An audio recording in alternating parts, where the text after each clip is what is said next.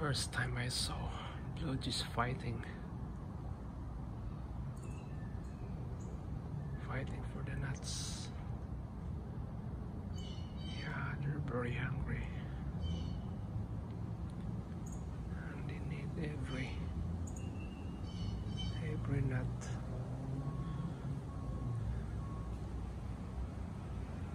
To survive this winter.